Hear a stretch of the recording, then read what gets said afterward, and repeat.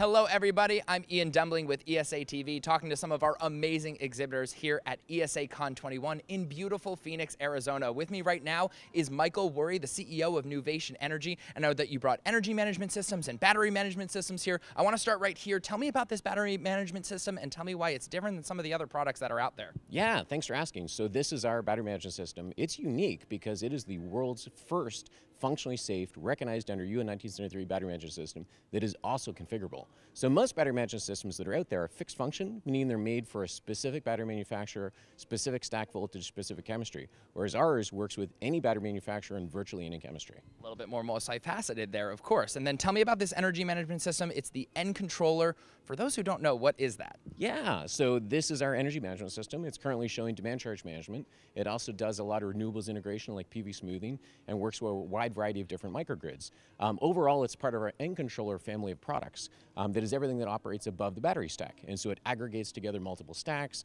um, aggregates data um, from multiple stacks, receives um, commands from uh, SCADA, distributes P and Q commands.